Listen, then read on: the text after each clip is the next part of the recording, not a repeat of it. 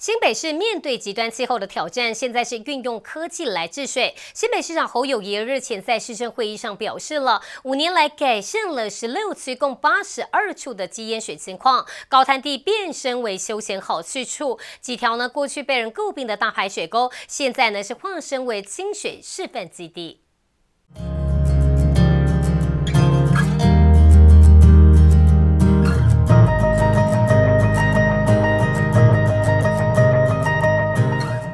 论是板桥南仔沟，或者中和藤寮坑沟，新北著名的五条脏乱臭水沟，如今整治有成，已经是都市里不可或缺的优质生态环境。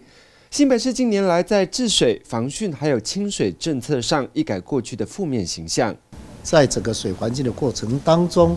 可以好好利用我们的淡水河系的新店溪、大汉溪，创造更多的休闲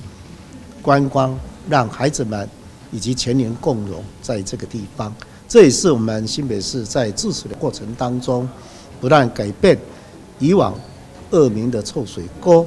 让他们变成一个优质的生态、多元 sinh 物的一个环境以外，也让很多高滩地公园变成水环境最优质，也可以让大家共荣的好地方。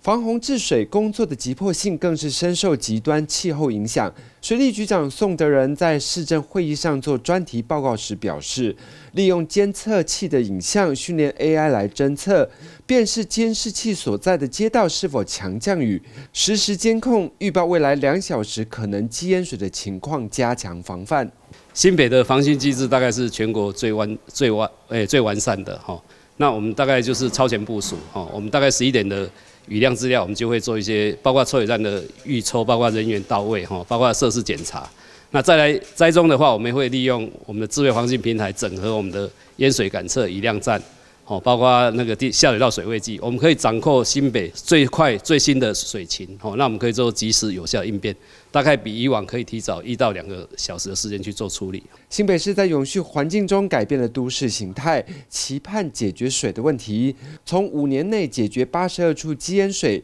再到提前预测治灾可能性，在防灾工作上分秒必争。